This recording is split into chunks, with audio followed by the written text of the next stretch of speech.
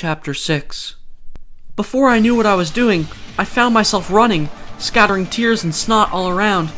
While I was running, I wrote my memories down in my notebook. But I quickly forgot why I was even running. I slowed my pace and looked down at the unfinished memory in the notebook. When I did, that recent memory was resurrected in my brain and. Gah! Screaming, I continued fervently dashing away from the central plaza.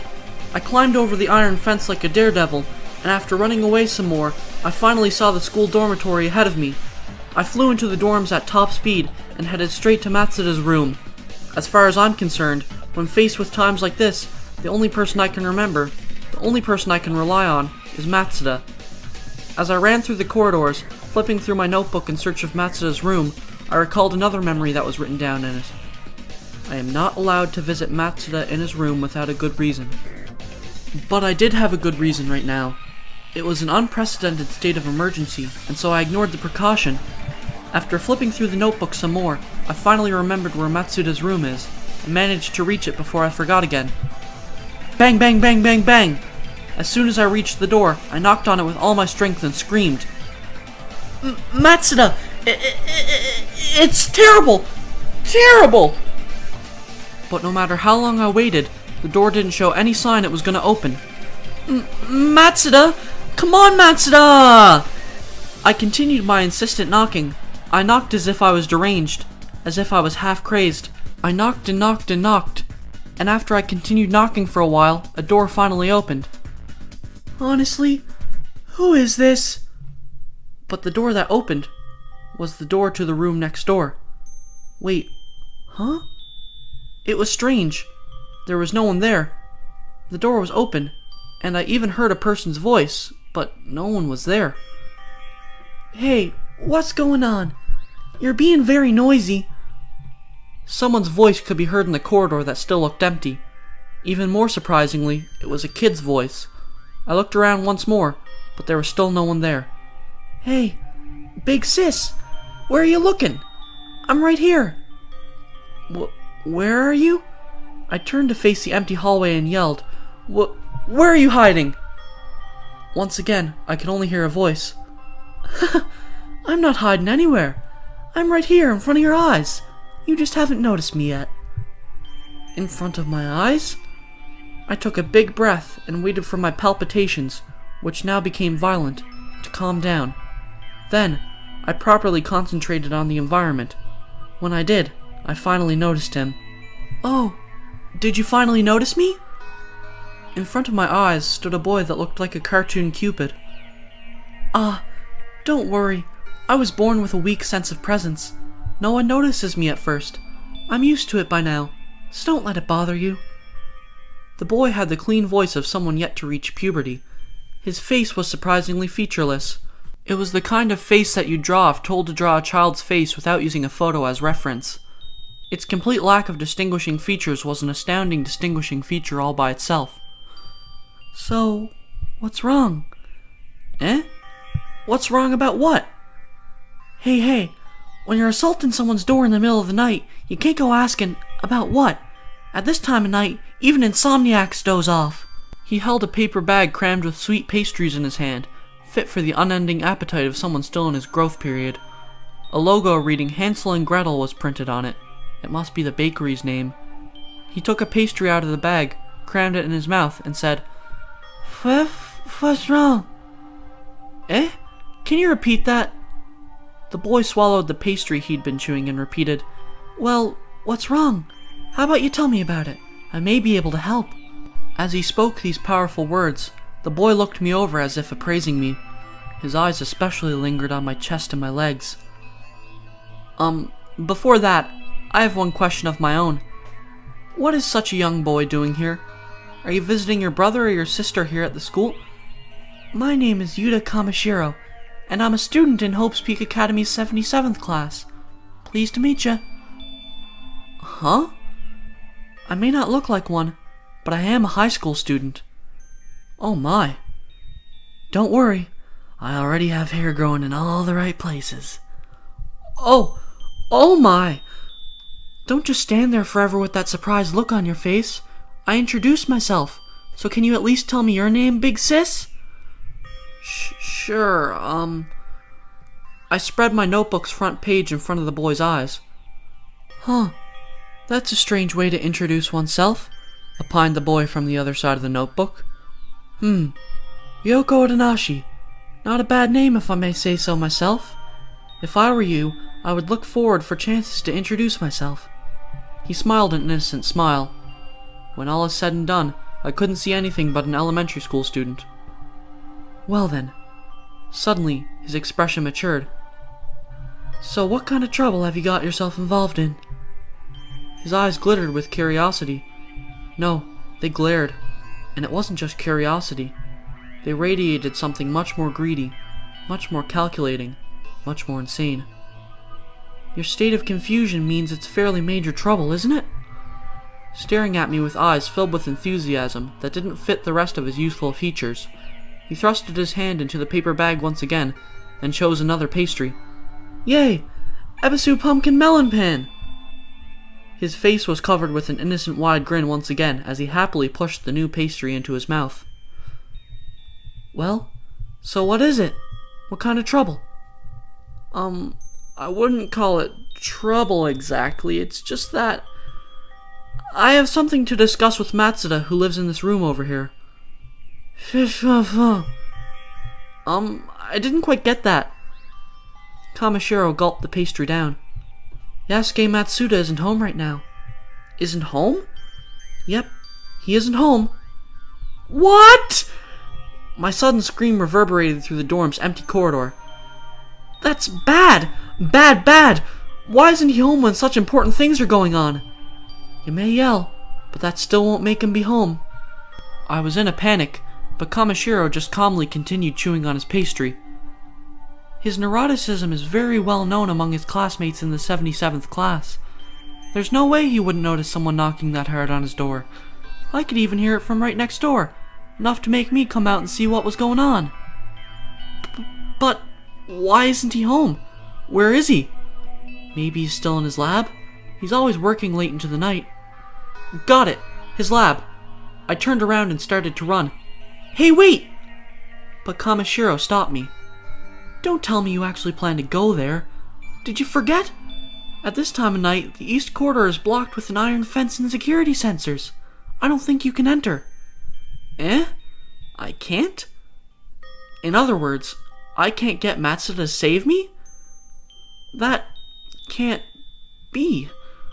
I was at my wit's end. That's bad. What am I gonna do? This is the biggest crisis in my entire personal history. Why don't you let me help you then? Kamishiro faced me, his face brimming. I can't leave a troubled woman with such a cute face as yours alone. So what have you gotten yourself involved with? Tell me everything. What have I gotten myself into? That's... Huh? I mean, that's... Um, what was that? It seems that while I was at my wit's end, I'd forgotten what I was at my wit's end for. Um, wait just one moment. I hurried up and checked my notebook. you really don't have to hide anything. If you weren't in great trouble, you wouldn't be smashing that door like you did. You acted just like Kindaichi in that manga where he comes across a dead body. Coming across a dead body. Just about the same time Kamishiro said those words, I found the same phrase in my notebook. In a second, my spirit was crushed and suffocated, and I stopped breathing. Hey, what's wrong? Your face is as white as if you're in an episode of Kaiki Daisaku-sen. I was still in shock from my resurrected memory of finding a body, and I couldn't breathe. In order to escape from being suffocated, I whispered one sentence to myself. This has nothing to do with me. I repeated it again and again. Nothing to do with me, nothing to do with me, nothing to do with me.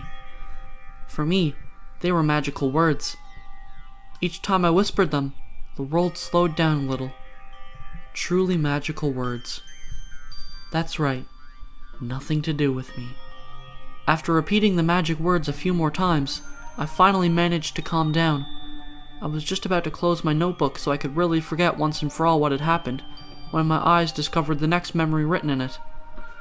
There was a Ryoko Otonashi memory notebook lying on the ground under the body. I raised my voice in a scream like I never had before. Ah! I forgot! That notebook, inside that muddy pool. Even if I convince myself this has nothing to do with me, if they find a notebook with my name on it, it would be impossible to convince anyone else. I'm gonna be pulled into a stage, surrounded by extras. They're gonna expose me in front of a faceless audience and hand me down some cruel punishment. This is bad. My palpitations became violent again. What should I do? Everything was breaking down. The world itself was breaking down, starting at my feet. I have to do something about that notebook before it completely collapses. Spurred by that sense of urgency, I took off at full speed. Hey, big sis, wait! A voice called from behind my back. If you're in trouble, please let me help. If you want to help, tell Matsuda to look for me when he comes back. Bye-bye! I yelled without looking back. Then, I ran past the corridor and out of the dorms. I ran all the way through the south corridor without stopping to catch my breath and climbed over the iron fence with that same momentum. I proceeded at full speed into the central plaza, still covered by darkness. I ran so fast I didn't even notice my breath was running out. Finally, I reached the fountain once more. I reached it, but... Huh? The scene that spread in front of my eyes was discomforting. I looked around several times. Yep, this sure is discomforting. I opened my notebook to check my memories again. The one thing I can't trust is my own brain, so when faced with such a discomforting scene, my first thought is to doubt myself, but I came across an old man's dead body near the fountain in the central plaza. That memory, properly written down in my notebook, convinced me it was not me who was at fault. No, the cause of this discomforting feeling was the scene in front of my eyes. The scene that was lacking a dead body.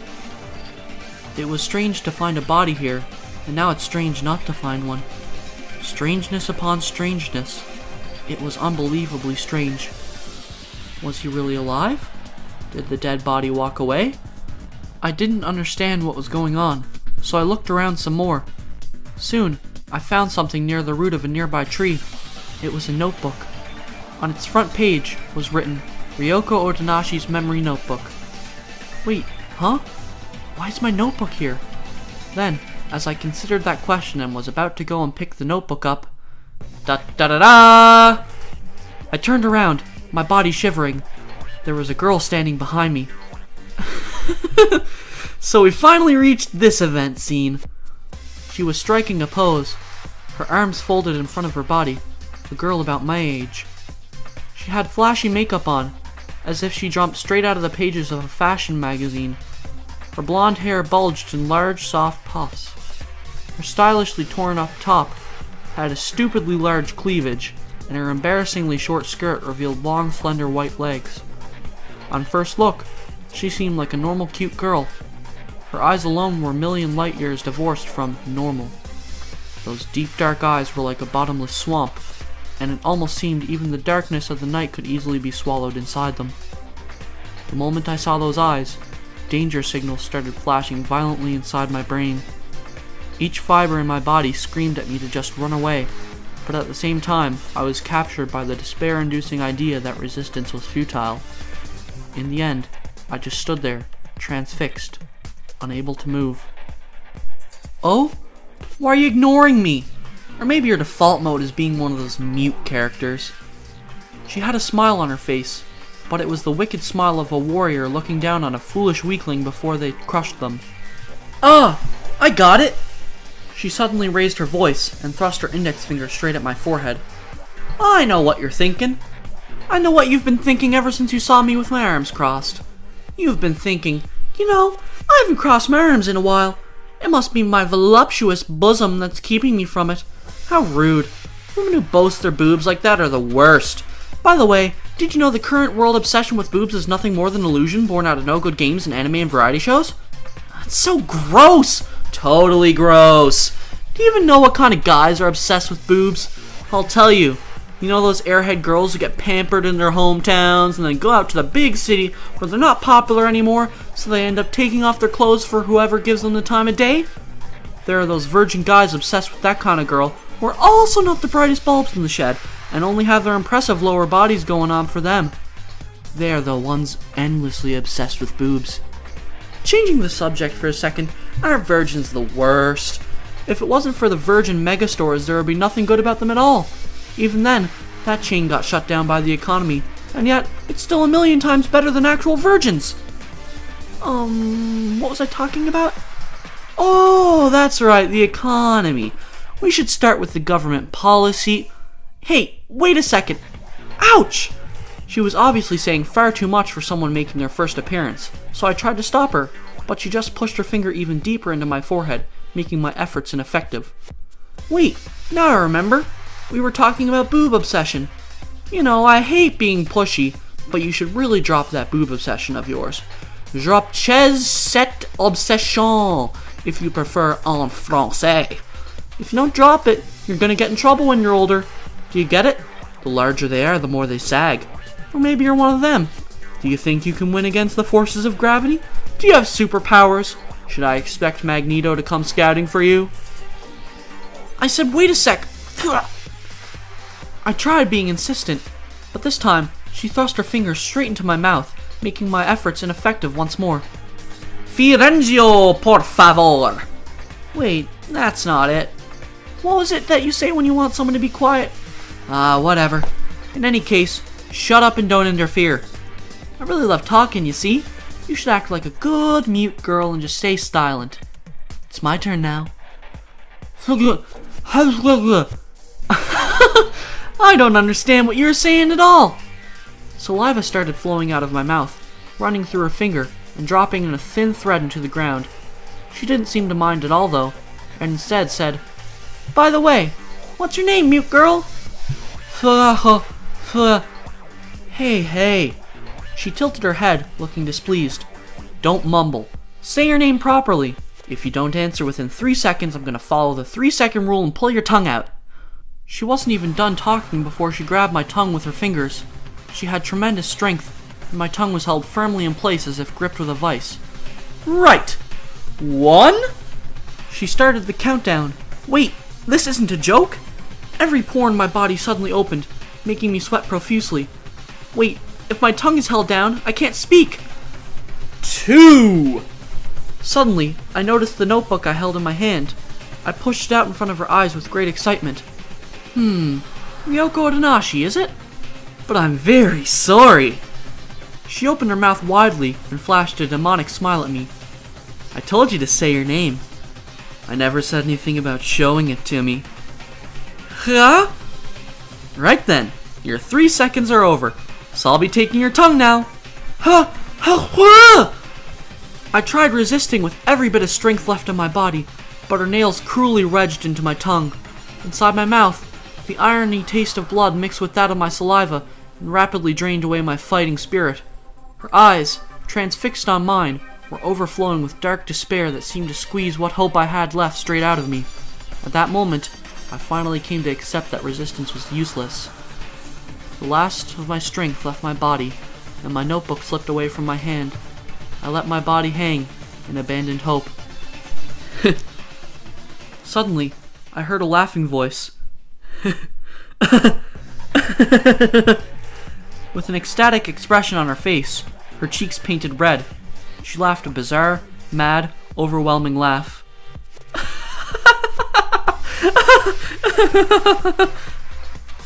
when that merciless, savage roar of a laugh came to a stop, she finally removed her fingers from my mouth.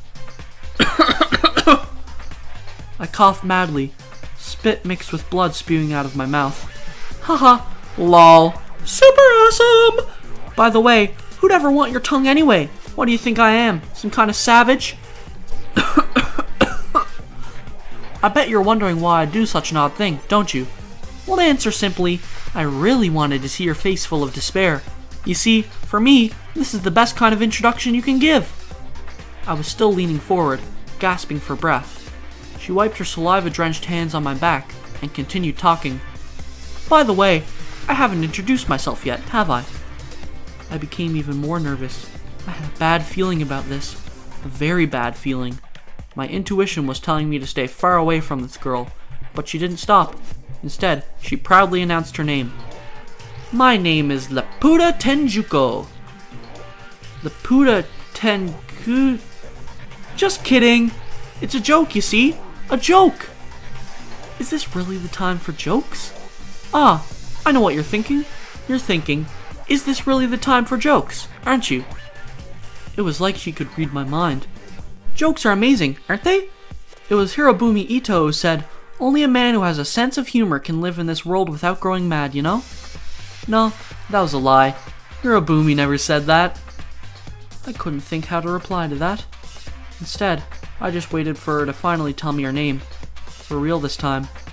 My name is Junko Enoshima. Under the guise of super high school level fashion girl, I'm sometimes a charismatic amateur model for fashion magazines. At other times, I'm a charismatic. Oh, oh, oh. But that's still a secret. I'm sorry. She stood in the light of the street lamp, stretching her figure like an actress under the spotlight. Junko Enoshima. My brain understood that I shouldn't get involved with her, but my body acted on its own. Before I knew it, I picked up my notebook and wrote her name in it. Oh, and what's that you're doing? Enoshima asked with a curious look on her face. Uh, um, that's... I hesitated, not sure what I should say. Oh, come on! Don't tell me you're gonna turn into Mute Girl again and keep it a secret! She puffed her cheeks as if she was a little girl trying to show her dissatisfaction. I couldn't help but admire how effortlessly her face moved from one expression to the next. Mute characters have grown out of fashion, you know? Besides, conversation is an excellent communication tool for us humans, so not using it is a kind of waste, don't you think? This isn't a conversation. You've just been spouting nonsense ever since. You should address me by my proper name. Haven't I just introduced myself? She chided me in a flat, threatening tone. Um, Enoshima-san, everything you're saying is just nonsense. I don't need the san. I hate that kind of reserved politeness. But I just met you a few minutes ago. Which makes us complete strangers? You're totally wrong. I mean, we're pen pals, aren't we? Pen pals? You've read my letter, didn't you? Isn't that why you're here? A letter? What letter is she talking about? I quickly checked my notebook and soon remembered, and then, as soon as I did, I raised my voice in surprise. Eh? So it was you who. Yep! I'm the beautiful kidnapper who took your memories hostage. Without showing any signs of embarrassment, but also not of putting on air, she ended her sentence with a strange little laugh. But, but why? Hey, you can't just keep asking questions. Think for yourself. Uh, um, so I guess you really wanted to keep me and Matsuda. That has nothing to do with it. Even though I did my best to think of a reason, she rejected it in one swift, threatening motion. Well, whatever. I just don't feel like telling you yet. As she was speaking, Enoshima picked up the notebook that was still lying on the ground under a tree, ignored the liquid it was soaked in, and shoved it into her cleavage. I'm sorry, but I can't return that to you yet. This event scene can't proceed that far. Hey, hey, hey, hey, hey, hey. Enoshima suddenly opened her eyes wide in surprise. Huh, huh, huh, huh, huh? She turned her head from side to side, calling out as if she was mad. It's gone! Gone, gone, gone, gone, gone! What's gone? I asked timidly, confused by her sudden change. It's gone! Gone! Isn't that strange? Why is it gone? Why? She paced around the circumference of the trees, repeating her cries like a broken record. I asked what's gone! I finally decided to use a stronger tone, and then, oh, ah. She finally turned her face back towards me, but it was an unexpected, expressionless face. Then, she replied in a voice lacking any intonation, speaking as lightly as if she was discussing trivialities. The body. The body is gone. The body that was here isn't here anymore. Huh? Oh, have you forgotten already? Honestly, even forgetfulness should have its limits. You saw that body yourself, didn't you? A new question came into my head. Wait, how did you know I'm forgetful? Have I told you? Th that doesn't matter. Anyway, there was definitely a body here before. Enoshima raised her voice, brushing my question aside. Please, believe me, there was a body here minutes ago. I killed him, so I'm sure of it. Huh? Before I knew it, my body stiffened. You see, I came at him from behind and hanged him in one go. I did it with those very slender arms. Then, he leaked a little. Honestly, old men like him should wear diapers just in case. If they did, it would give me peace of mind even in days like this.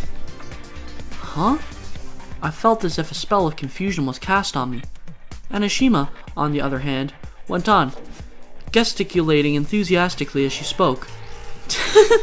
to be frank, some of it got on my skirt, so I went to the bathroom to wash it off. But it seems in the time I was gone, the body took off. It slipped away. Well, it's my fault really, getting scared from a little pee like that. That's why, as punishment, I put that pee-drenched notebook under my shirt right now. Huh? I mean, I worked so hard so I could make an example out of him. Honestly, who could have done that? Huh? Hey, you've been doing that for a while now. Are you trying to be one of those absent-minded characters that are always so popular? Huh? Or maybe you're just a dummy. It was useless. Thoughts I couldn't even form into words ran around inside my head, causing a terrible grating headache. I didn't understand a thing. Is killing a person a thing someone can confess so readily? Ah, are you wondering how come I've confessed to such a thing so readily? She hit the bullseye once more. That should be obvious. I want you involved in this. Eh? A vague yet extraordinary anxiety unfolded over my entire body. M me? I involved in this? Wait a second. Why do I have to get involved in such a horrible thing? Huh? I'm asking, why do I have to get involved in such a horrible thing? Huh? Uh, I said, don't get so mad. You're ruining your absent-minded character personality. That's not it. I... In that case, let me ask you a question. Say you're making instant ramen. You put boiling water in and then wait three minutes, right? But if someone comes and asks you, how come it's three minutes? What's gonna be your answer? You can't answer that, can you? My thoughts reached a state of unprecedented turmoil. Well, what are you talking about? Don't change the I'm not changing the subject. It's the same. Enoshima counterattacked with a strong tone of voice. That's just how things are, so that's why I'm doing it. There's no further explanation. Ah, uh, but, you know, I'm not proud of it, but I am an impatient person, so I often give up before the three minutes are up. People think I have a thing for hard noodles, but it's actually because of this much deeper reason. Well, do you get it now? My cognition clattered and collapsed and the inside of my brain completely turned into rubble. All that was left was a large number of question marks. I don't understand anything. That was the one and only answer I was certain of. Attempting to understand other people perfectly is a futile activity unless you're aiming for the Ubermensch Olympics. I know that. But nevertheless, her case was extraordinary. I shouldn't have gotten involved with her from the very beginning after all. But it's probably not too late yet before I get even more involved. That's right. I should run away. That's right. I should run away. Having finally arrived at this simple answer, I promptly turned the other way, kicked powerfully at the ground, and set off dashing away from danger. Almost immediately, I found myself colliding head-on with Enoshima. How? I fell right down on my butt. It hit the ground so harshly that my entire body turned numb. When I looked up, Enoshima stood on the road, blocking my head. I never even saw her move, and yet she somehow appeared behind me before I even started running. To teleportation? I prefer Shukuchi Jutsu. I like the pop culture vibe. I felt like it wasn't just my butt that hit the ground, but rather my anything and everything. It seemed I couldn't escape her after all. I may have convinced myself I have nothing to do with it, but she will not allow that. I think you misunderstand the situation. Don't you agree? Enoshima crouched down and peered into my exhausted eyes. Alarms went off everywhere inside my head. I mustn't look into her eyes. Nevertheless, I couldn't avert my gaze. I should have let you know in ahead. Your intentions are irrelevant. What's relevant is Junko Enoshima's purposes. That is all. That's why even thinking about escaping from Junko Enoshima is nonsense. The world itself is Junko Enoshima's playground, and everyone in it is merely living in it on borrowed time. I'm not talking everything you own is mine. I'm talking You yourself are mine. The entire world and all mankind are for Junko Enoshima to do with as she pleases. What? It was the most evil, extraordinary, egotistical doctrine. The kind that causes you to feel sick. If she really means all that, I have to resent my own lack of luck for meeting that girl. Oh well, we should return to what we were talking about the issue of the dead body. She stood up, recollecting herself, turned to face me, and asked a question. By the way, do you know what Hope's Peak Academy Steering Committee is? Hope's Peak Academy Steering Committee? Just to make sure, I checked my notebook, but I couldn't find mention of that phrase anywhere. It seems I honestly do not know what that is, but if she mentions that name right now, that probably means. Ah, it seems you have breached a conclusion. Uh, sorry, I keep messing up my pronunciation. Let me try again.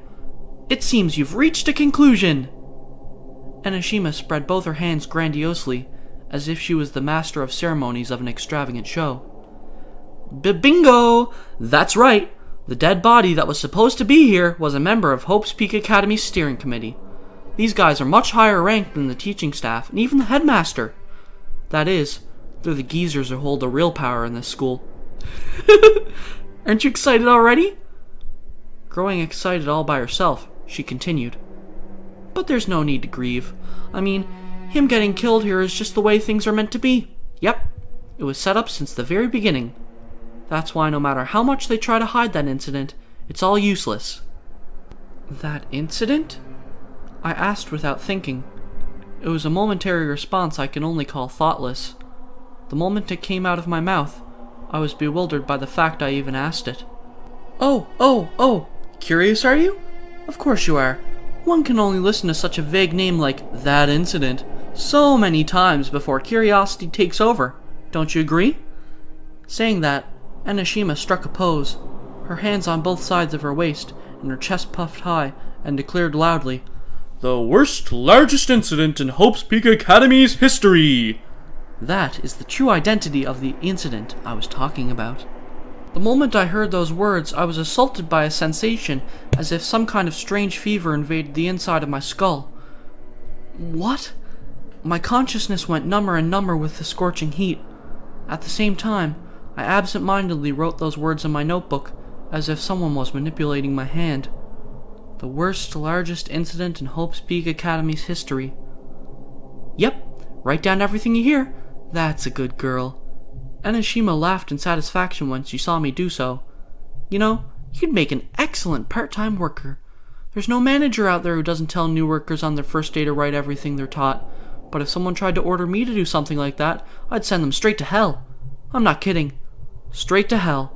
First, I'd finish off their family, then their friends and acquaintances, and then, when they're fully immersed in despair, I'll wait until they come ask me themselves to please kill them. By the way, who are you? Eh? I looked up from my notebook in surprise, and saw that the scowl in her eyes increased considerably. Her scathing eyes were looking towards something far behind my back. I turned over at once, but could see nothing but deep black trees in the middle of the night's darkness.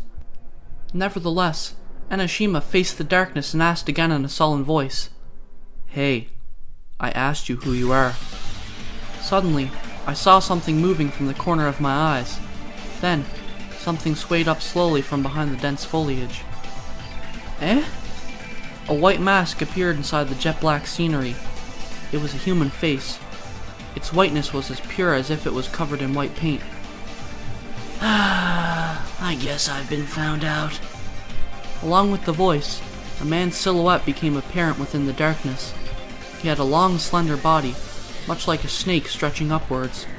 He wore a pitch black school uniform and had pitch black hair dropping down to his shoulders. Black upon black. The white face peeking out from the blackness had small, thin, lizard like eyes carved into it. My name is Isshiki Madarai. I could hardly see his mouth move. Is that so? It's not like it really matters, but that's such a lame name. Junko Enoshima is 10 billion times cooler. I took a sidelong glance at Enoshima, being her usual loud self behind me. She didn't seem much affected by the situation, and flashed her regular overconfident smile. That is indeed troubling. I have much pride in my name.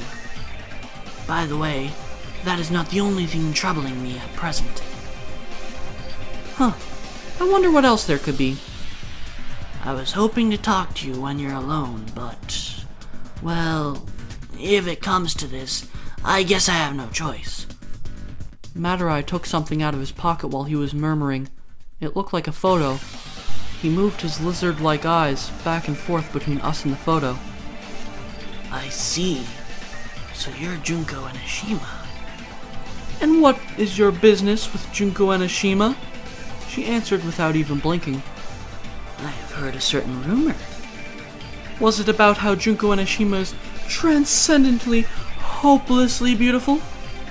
There's that, I guess, but Madarai paused for a second and then continued in a completely different tone of voice. I also heard that Junko Enoshima was involved in that incident. And that's what you want to talk about? I'm sorry, that's impossible. Enoshima wasn't even slightly unnerved, nor did she lose her smile. That's not something a small fry like you has any right to talk about. Know your place. I thought you'd say that. Well, I guess I won't get what I want that easily. And what are you gonna do about it? Are you gonna force it out violently? Are you an old-fashioned kind of guy? That kind of trite development should stay inside V-cinema films. Speaking of being old fashioned, I'm not the type of guy who'd go easy on you just because you're a woman. I hope that's not what you're counting on. Madarai's chorus of glare shot through us. Enoshima and Madarai glared at each other in a way that almost made the ground itself shake. But this has nothing to do with me, does it? This is an issue between that boy who called himself Isshiki Madarai and that girl who called herself Junko Enoshima. I'm not involved at all, so it's okay for my body to stop shaking with fear now, right? Well then, I hope you two are ready because Wait a second. I raised my shaky voice. Both Enoshima and Madarai turned their eyes towards me at the same time. Uh, uh, um, it's strange that you said you two just now. After all, you only have business with. I can't have one of you running away. Anyone involved with Junko Enoshima is likely to have something to do with the incident themselves, said Madarai, licking his lips. Well, if you need someone to blame, blame yourself for getting involved with Junko Enoshima. Furthermore, I've been hearing nothing but complaints.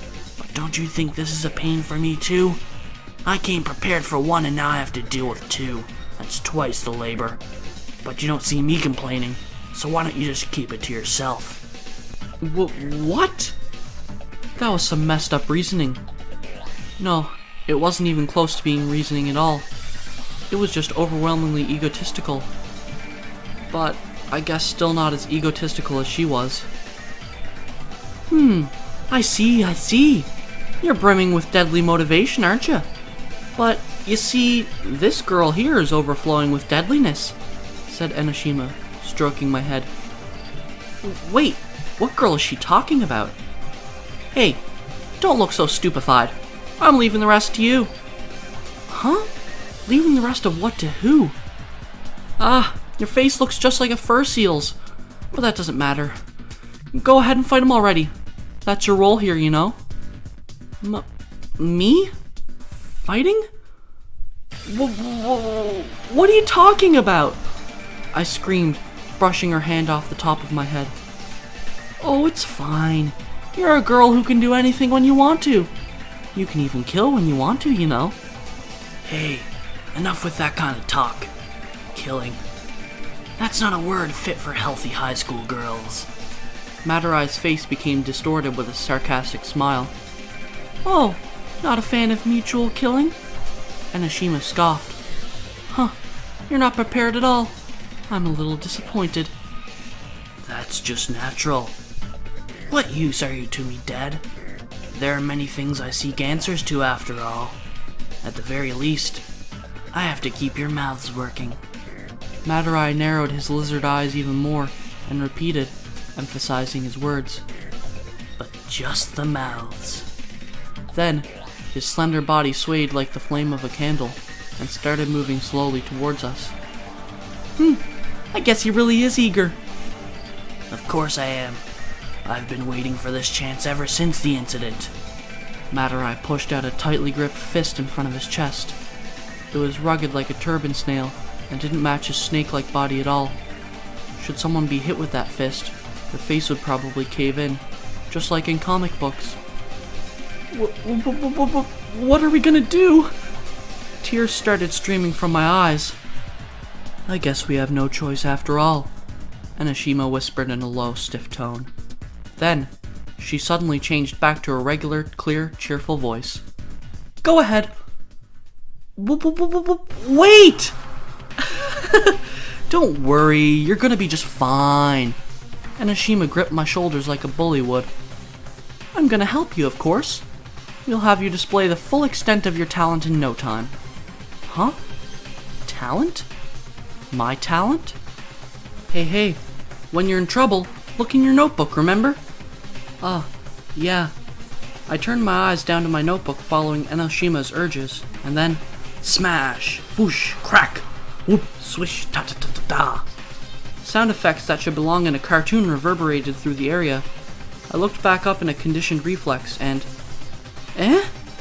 Enoshima, who was just behind me a second ago, was now a few meters ahead, exchanging violent blows in a fierce battle with Madarai. Flash! Subaba! Da da da da da! Madarai used his long limbs like whips as he attacked. His opponent, Fashion Girl Enoshima, was standing her ground. Where the heck did this fighting action come from? Hey, don't just stand there looking like a pig in shock! Enoshima yelled at me while performing magnificent tripping techniques as if she was a professional gymnast. Write everything down in your notebook! Right then, she delivered a perfect kick, sending Madarai down into the lawn with a short grunt.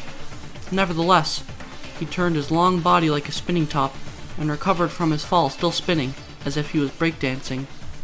Whoops! Enoshima jumped and dodged, and Madarai took advantage of the opening to rise back up.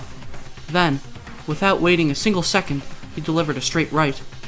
He was clearly too far away for the strike to hit, but his bizarre long arms seemed to ignore the distance. Nevertheless, Enoshima dodged his flying fist, and in the same movement, stepped up and thrust the tip of her right foot into his abdomen. a groan left Madarai's mouth. The two finally stopped moving. Oh, it worked! The crescent moon kick!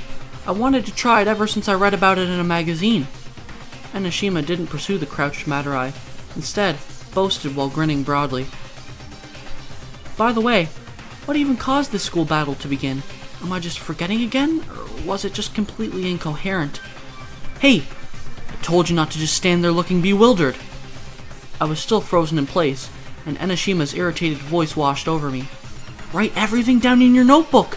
What do you think I'm working so hard for? Suddenly, her face flew away. A high kick as swift as a whip came at her from behind, sending her thin body flying like a scrap of paper. Ah! I raised my voice instinctively and turned my eyes to where her body was headed. Ah, that was almost dangerous. She was posed on her knees, but then stood up as if nothing had happened. There was no visible damage except for a red mark on her left arm. It seemed she tried to use that arm to guard against Madarai's kick. I wasn't the only one who thought such a blow should have broken her thin arms, though. I could see signs of impatience on Madarai's scowling face. Huh. Nervous cause I'm too strong? Starting to doubt yourself? That's right. I'm the ultimate weapon fashion girl who hasn't lost in over 300 fights. Shut up. Brushing away her words in anger, Madarai rushed at her once more. Soon, the battle resumed in full force. They both used their right hands, right feet, left hands, left feet, and then their full bodies in a hectic exchange of blows. I simply stood watching, unable to move. Only my hand moved, to write everything down earnestly in my notebook. Enoshima let out a series of exaggerated high kicks, as though in response to the one that sent her flying before, but Madarai just twisted his mouth into a grin. He carefully avoided the kicks, and then, with perfect timing, lowered his posture and sprang into a tackle. His long hands stretched forward and were trying to take hold of Enoshima's waist, but Enoshima's knee sprung up aiming directly for Madarai's jaw. Madarai managed to turn away from his tackling target at the last second and avoided Enoshima's knee by mere millimeters. Nevertheless, he lost his balance and thrust his right hand towards the ground. As soon as he did, Enoshima cried, Hiya! in a silly voice and delivered a spinning kick at the right half of his body, which had become an open target. Madarai guarded with his left hand in panic, but he didn't make it in time. His right temple was hit with Enoshima's intense kick. His slender body flew down towards the ground, swaying back and forth. Ah, that was an easy win. Easier than going dancing. Enoshima laughed loudly. I guess he was all boasty without much to show for it. He should try going back and relearning the basics. That was really no trouble at all. She continued to cackle, and then took out a hand mirror from an inside pocket and started resetting her messy hair. Surprisingly, despite the fierce battle she just participated in, she wasn't even out of breath. I rushed over to her side and started cheering. Th- thank God! Thank God! For a second there I was really worried. Enoshima's expression changed in an instant. Huh? She gave me the ultimate despising look. I think you're misunderstanding the situation. You don't think this is settled yet, do you? I mean, that would be an Armageddon level misunderstanding. Eh? Suddenly, I caught a shape slowly rising up from the corner of my eye. It was Madarai. Uh, how? It's obvious, isn't it? That kind of kick shouldn't have sent him flying as grandiosely as he did. He just did what I did before. He let himself fly. You know? In order to reduce damage. Well, it's all because I went a little easy on him. You know, he wouldn't have survived otherwise. Screech! I heard the unpleasant sound of grinding metal. It came from Madarai's teeth, which were grinding together so much it almost seemed sparks were going to come out of them. He, he's mad, isn't he? I, I think he's mad. My face was fixed on Madarai as I turned my nervous voice towards Enoshima, who stood hidden behind me. It's fine. It's impossible for someone like you to be taken down by someone on his level. Probably. At least be definitive about it. I was just about to turn and face her when... Never take your eyes off. Enoshima commanded with a sharp voice. Never take your eyes off the prey. That's the basics of the basics. P prey? But I'm the one who's prey here, aren't I? Madarai kept grinding his teeth, advancing slowly towards us. I was shaking in fear like a frightened rabbit in front of a bloodthirsty, poisonous serpent. There was nothing I could do but turn to rely on Enoshima once more. What? Madarai suddenly opened his eyes wide in surprise. When did she. When did she. what? A bad feeling came over my entire body, and I turned around in fear to look right behind me. Um, what was it she called that? I went over to my notebook and soon remembered. Right, right. Shukutsu Jutsu, huh? There was no one behind me anymore. In no time at all, no sign that Enoshima was ever there remained. It seems you've been abandoned. I heard a man's voice from behind me. I turned around once more. Madarai was suddenly standing right before my eyes, looking down at me with vicious eyes. But there is no need to resent anyone. I shall settle things properly with her later. It's just the order that changed. Having been handed what sounded like a death sentence, I came to realize the fundamental error that occupied my thoughts until that moment. I was an idiot for thinking I could rely on Enoshima, but this is no time for complaints. I have to do something. Then, as my faltering eyes turned down to my notebook, I heard Madarai's voice from above. Huh. You must be really confident if you're reading a notebook at a time like this. Uh, um, excuse me. I couldn't even bring my head up again. I couldn't even grasp the content of what I was reading, but I still flipped through the pages. I couldn't find a breakthrough solution to my problems, but I did my best to come up with an excuse that gave me some time. W- wait it one second. You said you were investigating the worst, largest incident in Hope's Peak Academy's history, didn't you? In that case, I won't be much help to you at all. I mean, I know absolutely nothing about that. How did you know that then? Madarai's voice turned to ice and made me shiver even more. N- no, what? All I said before was that I was looking into that incident. Nevertheless, you seem to know I was talking about the worst, largest incident in Hope's Peak Academy's history. I looked up. The sharpness in Madarai's eyes seemed to grow tenfold. My first thought was to escape those eyes, so I looked down at my notebook again. Um, you see, that's. I just heard that name recently by accident. Yes, that's definitely what happened. There are not many people in this academy who even know about that incident or its title. The fact that you two spoke about it, it seems my suspicions were exactly right. I didn't even need to look anymore. I could imagine Madarai's lizard eyes twisting towards me in laughter. Shivers went down my spine. My arms and legs stiffened. I couldn't move at all. It's over. I can't be sure about it, but this is probably the first time in my life I was conscious of my own mortality. Of course, at times like this, there's just one thing that comes to my empty head. Matsuda. Yes, my beloved Matsuda. But of course, the memories don't come flashing inside my head like a revolving lantern. All I can remember is my feelings towards him. Therefore, I whispered his name again and again inside my heart. I had to remember. Matsuda, Matsuda, Matsuda, Matsuda, Matsuda, Matsuda, Matsuda, Matsuda. Huh? Um, let's try that again. Matsuda, Matsuda, Matsuda, Matsuda, Matsuda, Matsuda, Matsuda, Matsuda. Huh? That's strange. Something isn't right. I can't remember? Suddenly, my entire body was abuzz. I was assaulted by an unprecedented sense of fear and loneliness when I realized I couldn't remember Matsuda. Is this what loss feels like? It was a hellish feeling like I never felt before. A terrible feeling, as if parts of my body were bitten off by evil demons. What is it? Your face is terribly pale. Eh? The second I looked back up at Madarai, I understood what was happening. The fear the man in front of my eyes cast over me took control over all my emotions. That's why I couldn't remember my feelings for Matsuda. Your face looks like the face of someone who is about to be attacked. He cackled at his own unfunny joke. Matsuda, Matsuda. Even swallowed by fear, I continued whispering his name inside my heart. My emotions did not respond. Nevertheless, I continued to whisper frantically. It was almost like a prayer. I want to see Matsuda's face. I want to hear Matsuda's voice. I want to smell Matsuda. I want to touch Matsuda. I want to meet Matsuda. I want to meet Matsuda. I want to meet Matsuda. Suddenly, something changed.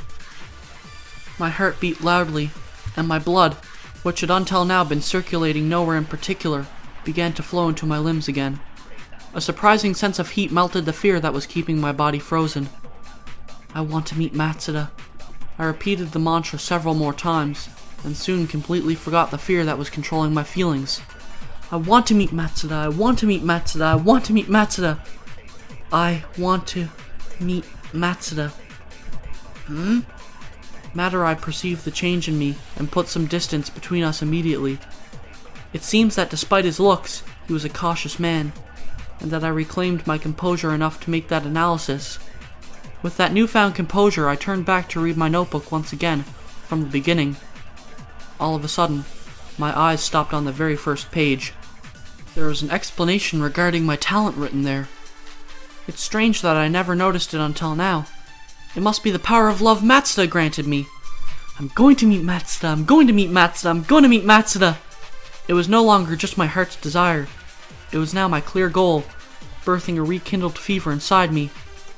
Please step away, I declared to Madarai, raising my head from the notebook. I'm going to meet Matsuda. Who the hell is that? Never mind that. What made you come back to life so suddenly? Love, of course, I yelled in triumph. My power of love for Matsuda, I yelled unabashedly. I agree that love is not something to be trifled with. It urges people to take unimaginable actions, and sometimes drives them to madness, although I'm not sure that's what's happening here. In any case, don't stand in my way. I scowled fiercely at Madarai. Or maybe it's desperation that's driving you now. That would be a bother. You can never know what desperate people are going to do. It doesn't matter if they're weak or strong, it's always a bother. Shut up and move already. You're truly a strange woman.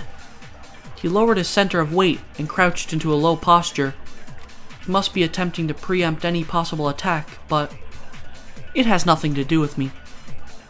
Something like that cannot hope to extinguish the red flame burning inside me. I'm gonna meet Matsuda. I'm gonna meet Matsuda. I'm gonna meet Matsuda.